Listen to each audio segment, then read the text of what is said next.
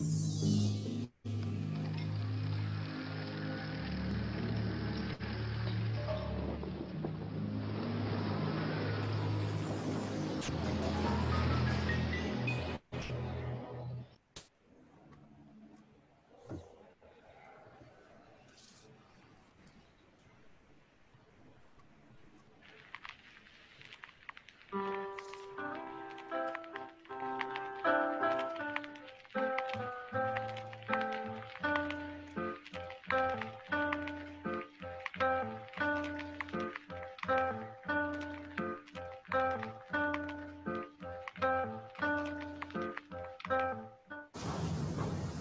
Ngumedya sila nga si Yolanda, babaeng kibiyaan daw sa nguyab.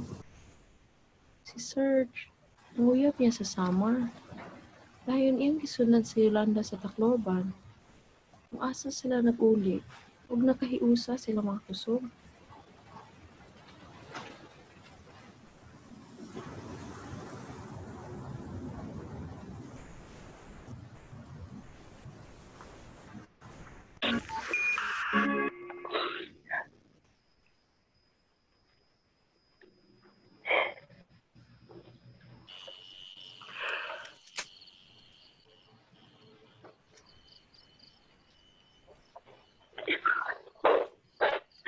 Ay, naku, pasensya na.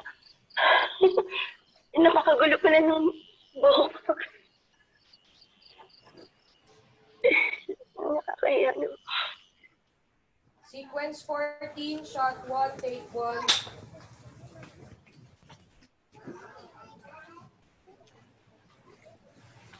Mga bata po.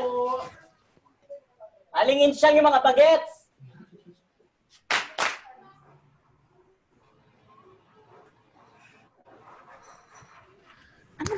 Naman ako buntis eh. Isa, dua, tatlo, apat, lima, onse, dose, trese, katorse, kinse, 21, 22, 23, 24, 25, 26, Tay, sense lang gani. Nagpaswas ka na.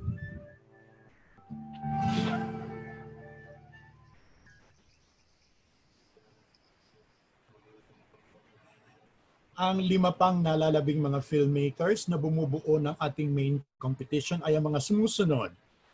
Ang gasgas na plaka ni Lolo Bert na gawa ni na Janina Cacosta at Cheska Marfori. Ang pagpakalma sa unos ni Joanna Vasquez Arong. The Slums ni John Andre Kobe. Talk Wi-Fi ni Carla Pulido Ocampo at ang Utwas ni Richard Salvadico at Arlie Sweet Sumagaysay. Pakinggan natin po ang ilang mga kataga mula sa mga ah, direktor na ito. Ako po si Janina, isa sa mga co-directors ng Ang Gasgas na Plaka ni Lolo Bert. Ang pelikula namin ay tungkol sa pagtanda at pag-iisa. Tungkol din ito sa pag-ibig at second chances. Binuo namin yung pelikula para sa mga kapatid nating PLHIV at LGBTQIA+, na hanggang ngayon eh nakararanas pa rin ng diskriminasyon. Ako po si Cheska, isa sa mga directors ng Ang Gasgas na Plaka ni Lolo Bert. Uh, may ituturing mang progresibo ang ating bansa sa pagtatalakay ng mga issues ng LGBTQIA+, hindi pa rin maiiwasan ng mga lumang paniniwala at ang stigma dahil syempre nakaukit na ito sa ating kultura at tradisyon. So dapat hindi matuldukan yung mga naratibo na nagtatalakay sa ating mga pinagdaraanan. gusto naming magpasalamat sa Cinemalaya sa pagbibigay sa amin ng pagkakataon na may ibahagi namin ang aming kwento sa inyo. Sa panahon na may mga pwersang pilit na nagpapatahimik sa atin, napakalahaga ng pagkukwento at paggawa ng pelikula bilang sandata. Sana po suportahan natin lahat ng pelikulang kabilang sa Cinemalaya this year. Hello, my name is Joanna R. Wrong, and I'm the director of Ang Pagpakalma sa Unos, or To Calm the Pig Inside. I started thinking about making this film when I spent considerable time in Tacloban and Giwan soon after Yolanda hit, back at the end of 2013. First on a shoot, and later when we established a scholarship initiative and often visited students and schools there. Over the years, I had come across so many stories people shared with me, whether from the children, teachers, or the friends we partnered up with. I knew I wanted to share some of their stories through a film, but I wasn't really sure it was my story to tell since I'm not from this area. A writer friend of mine from Cebu, when he saw how close I was to the story, suggested I write the film from my perspective. And this is how I decided to make it a more personal film, an essay film. And I feel in the end, it reflects many of the thoughts that were crossing my mind. In a way, a peek into fragments of my stream of consciousness, coincidentally aligning with Cinemalaya's theme this year. I'm very excited to be part of this year's special lineup. Thank you to Cinemalaya and to those viewing ang Pagpakalma sa Unos. I do hope the film resonates with you. Hello, ah, ako si John Andre Gobi, ang direktor ng pelikulang The Slums.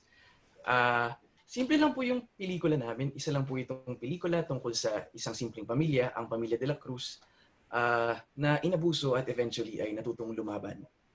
At gusto ko pong gumawa ng isang pelikula na may enjoy ng mga manonood, isang comedy film, dahil feeling ko kapag ka nag enjoy yung mga manonood mo ay mas madaling makakarating yung mensahe ng pelikula mo sa kanila. At gusto ko pong maging assessment itong pelikulan to ng ating mga pagtingin sa ah, kahirapan sa ating bansa at kung paano sila nire-represent sa ating popular media, ang mga pelikula, ang radyo, sa TV at sa dyaryo. At inaanyayahan ko po kayo ngayong taon na manood ng mga ah, iba pang maikling pelikula kasama ang The Slums sa pinakaunang online edition ng Cinemalaya. Available na po ngayong Agosto. Salamat po. Kawis ay ako, naimbag nga daw. Ako si Carla Polido Ocampo, isang ah, alagad ng pelikula mula sa Hilagang Luzon. At ah, ako po ang direktor, manunulat at editor ng maikling pelikulang Tokwifi. Ang ibig sabihin po ng Tokwifi ay bituin sa salitang bontok. At ito po ay tungkol sa ah, isang 1950s star o bituin na may makikilalang isang bontok igorot na magsasaka isang araw, ah, isang gabi. Um, ang kwento ng Tokwifi ay dumating sa akin, ah, napanaginipan ko ito. So, medyo akma sa ah, temang, ng, tema ng Cinemalaya ngayong taon na streaming consciousness or siguro halaw ito sa phrase na stream of consciousness.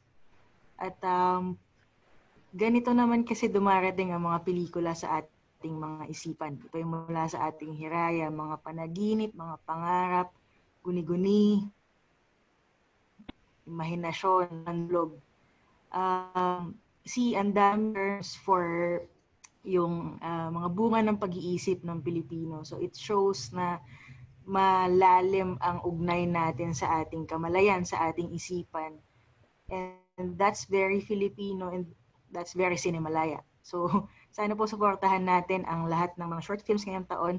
Maraming salamat po. Hi, ako po si Orly Sweet Sumagaysay. At ako po, si Richard Jeroe Salvadico. And we are the directors of Utwas from Iloilo. Our film is about diving into trouble yet not knowing that it's there. Kasi yung character namin, si Toto, he wants to learn how to dive on an island where dynamite fishing is practiced. Naisip namin gawin to kasi gusto namin iparating yung aming environmental advocacy at yung thought and awareness ng coexisting. Na yung tao nag-coexist siya, hindi lamang sa kanyang kapwa-tao, kundi pati na rin sa kanyang environment. And by that, we mean na sa bawat galaw natin, maliit o malaki, masama o mabuti, it impacts the environment. And the environment uh, reacts in a way that also affects us. So sana po, suportahan ninyo ang Utwas at iba pang pelikula sa Cinemalaya this coming August 7 to 16. Yun po. Maraming salamat po.